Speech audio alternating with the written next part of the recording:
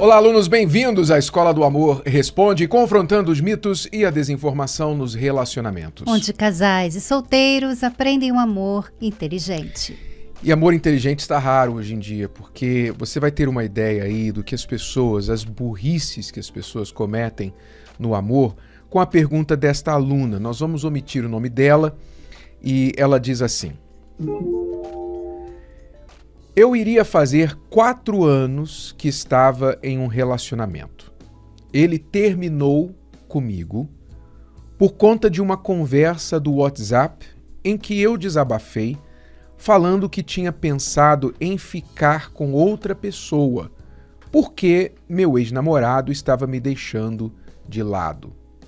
Fiz o que não deveria ter feito, me humilhei muito para reverter a situação para mostrar para ele que não aconteceu nada, foi só um pensamento. Fui bloqueada.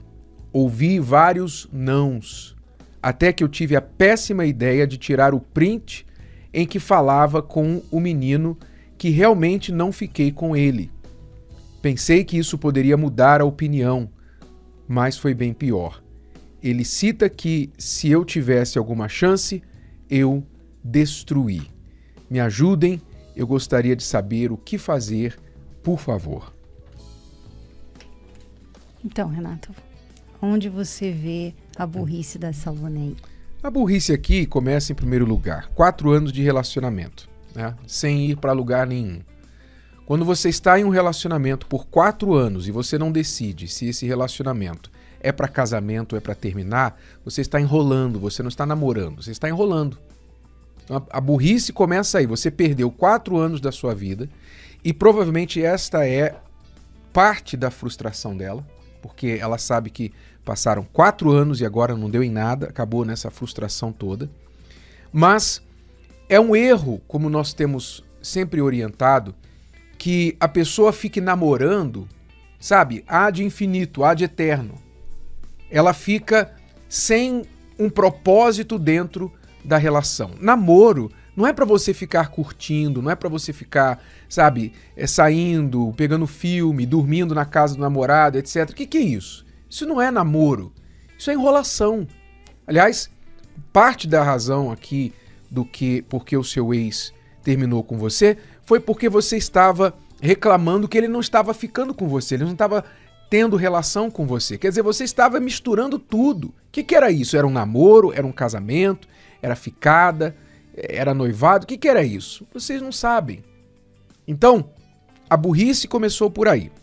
Uhum. E a segunda burrice, obviamente, foi ela ter expressado aquele pensamento. Ela disse: foi só um pensamento. Desculpe, não foi um pensamento só. Você expressou o seu pensamento numa mensagem de WhatsApp para este garoto com quem você queria ficar. É, é, você sabe que quando a pessoa ela, ela escreve um pensamento, ela está fazendo até mais do que falar.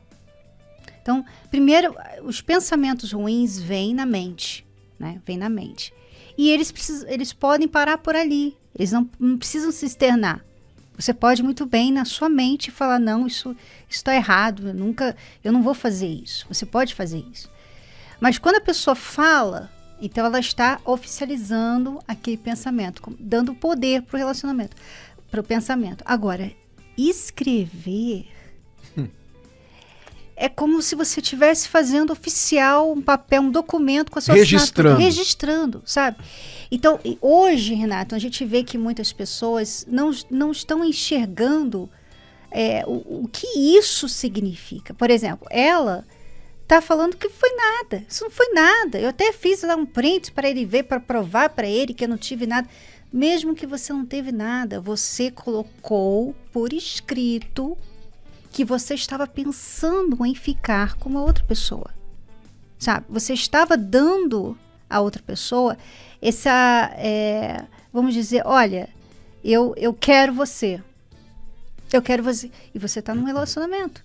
Então, na verdade, você estava falando assim: olha, olha, eu vou trair o meu namorado. Eu vou trair o meu namorado com você. É isso que você está fazendo.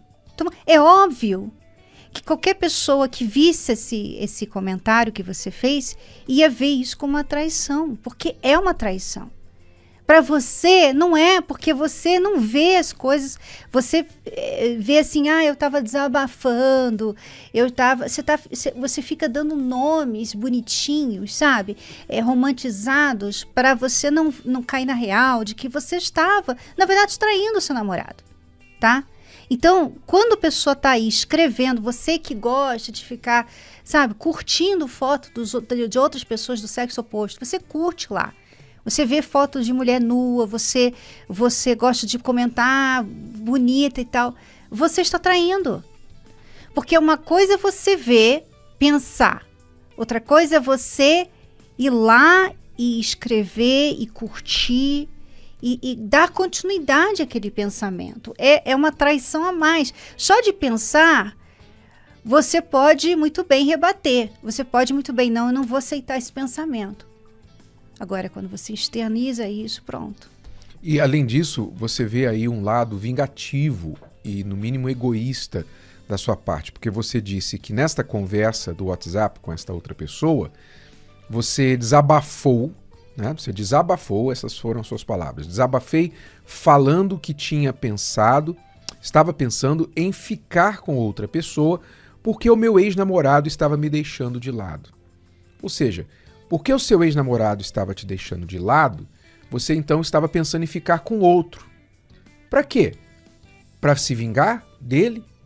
Ou para atender a sua carência, já que você não estava tendo essa carência preenchida, saciada pelo seu namorado, você ia achar um, um outro jeito que qualquer que de tá saciar? falando dela, né? Porque assim, é, você é capaz de usar uma outra pessoa, sabe, para se vingar para se sentir melhor com você mesma. O que, isso fala de você? Você não está pronta para estar num relacionamento. Ainda bem que esse rapaz, o seu ex, terminou com você.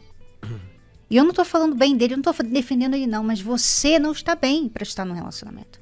Sabe?